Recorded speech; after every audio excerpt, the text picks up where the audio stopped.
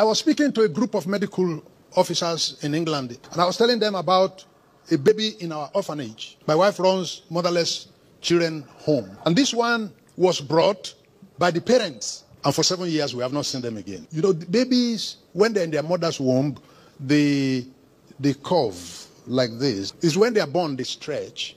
Now, this one was born and she did not stretch.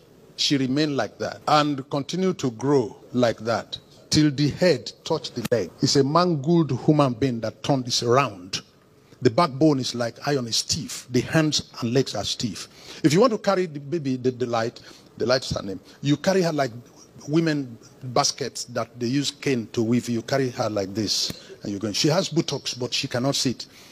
If you put her to sit, you need to support her with pillow on both sides, otherwise she's going to fall to one side or fall to the other side. If you want to feed Delight, you go down and look for the mouth from down to put the food to eat.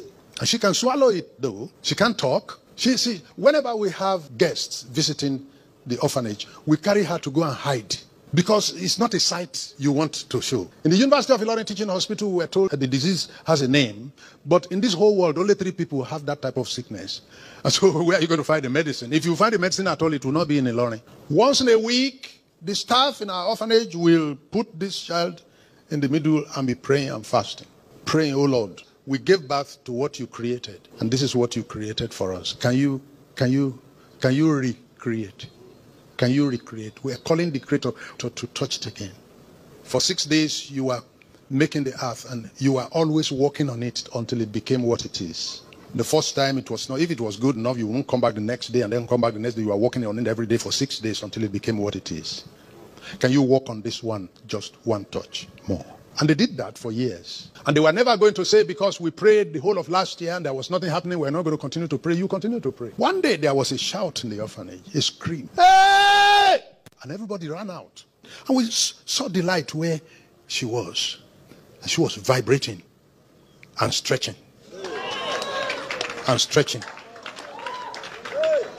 And stretching. And continued stretching till she finished stretching. Stretching full length.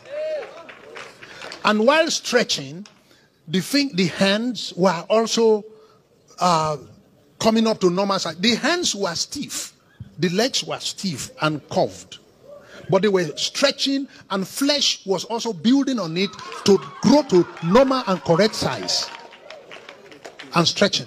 And when she had finished stretching, she tried to stand up.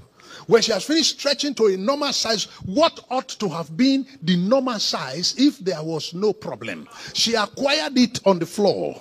She tried to stand up and achieved it after a few minutes and took a step and took another step and took another step and started walking and walked up to my wife. My wife was weeping and walked to my wife and spoke.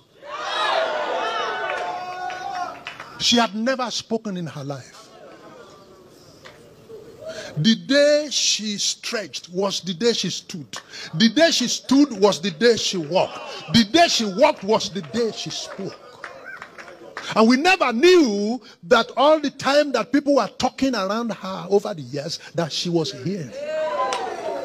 But as if that was something enough you could hear not speak, she got up and expressed herself. And my wife took her to school where her classmates and age mates were and asked that they should move and create room for her. You have left her behind, now she has come. And asked them to move and gave her a seat among them. And mysteriously, she understood what they were teaching. This cannot be normal. Then you sit down there and say, There is no power of God. We will leave you behind. It's as if God was making a human being in one day. And I said to you in this house that there is nothing God cannot do.